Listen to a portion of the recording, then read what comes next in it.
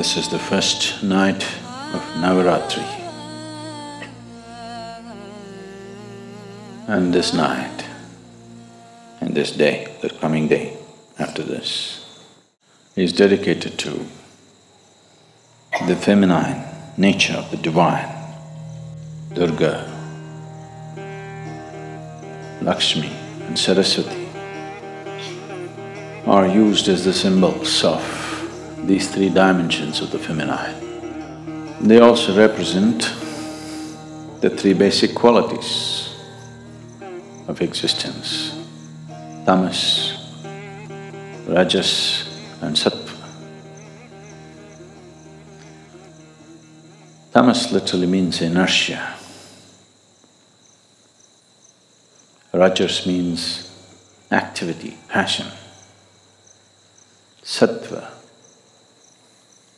in a way, is breaking of boundaries, dissolution, melting and merging. Among the three celestial objects to which the very making of our bodies are very deeply connected, the earth, the sun and the moon. Mother Earth is considered tamas. The sun is rajas, moon is sattva. Those who aspire for power, for immortality,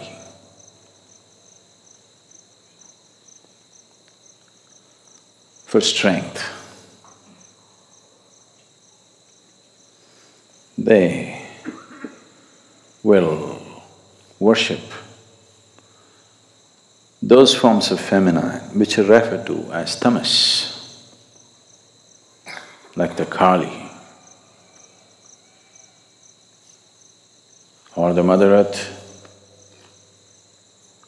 those who aspire for wealth, for passion, for life,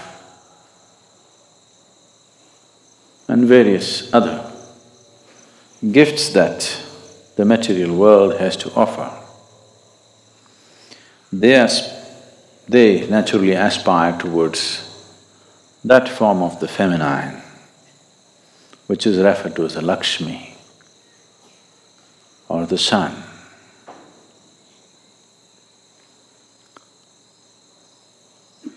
Those who aspire for knowledge, knowing, transcendence, immortality of not the body, but transcending the limitations of the mortal body, they will aspire for that aspect of the feminine which is referred to as the sattva or Saraswati is the representative of that, or the moon. So, uh, these three days, or the days of the feminine, for those of you who are not aware of this, the Linga Bhairavi has been consecrated with three basic chakras to represent three… these three dimensions of tamas, rajas and sattva. Tamas is the nature of the earth and today is her day. And she's the one who gives birth, the whole uh, the gestation period that we spend in the womb, our womb time, is tamas, it's like a a state which is almost like hibernation but it's growing. So tamas is the nature of the earth, of your birth. The moment you come out, then you start activity, rajas begins. If you are aware enough or fortunate enough, sattva will touch you Otherwise, the color of rajas. It's good as long as the going is good. When the going gets bad, rajas is going to be super bad. So what was absolute inertia now has become a dynamic rajas. This may transcend or may again go back to the same thing Durga Lakshmi Durga Lakshmi Durga ல- ச- அப்படி பேர் வச்சிருக்கீங்களா யாரோ துர்கா லக்ஷ்மின்னு ஆ? அவர் மூன்றாங்க Durga Lakshmi, Durga Lakshmi, Saraswati never happened. That means you're in the cycle, you're in the trap of life and death, life and death, life and death. Transcendence is yet to come. So these two will anyway happen. What is in a state of inertia will get into a state of rajas and activity. And again fall back and become inertia for a certain period of time and again get back into activity. This is happening to you as an individual, this is happening to the planet, this is happening to the galaxy, this is happening to the whole cosmos. It goes into a state of inertia and then becomes dynamic and again goes into a state of inertia. But the important thing is, this one has the capability to break the cycle and transcend. So these three dimensions of the Devi are enshrined in the form of Bhairavi or Linga Bhairavi.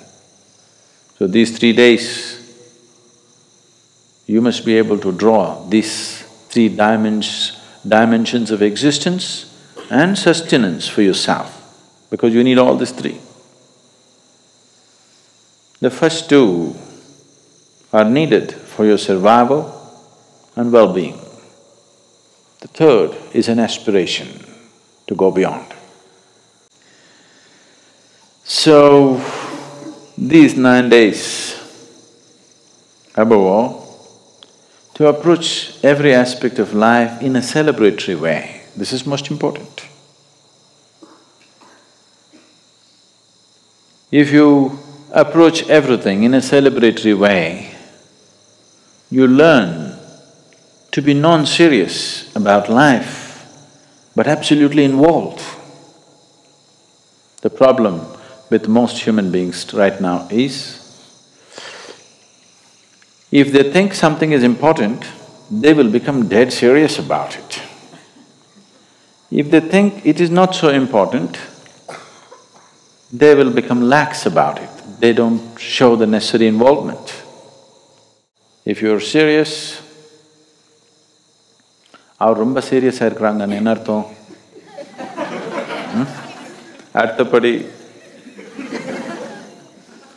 you know, in Tamil language or even in English probably, he's in a very serious condition means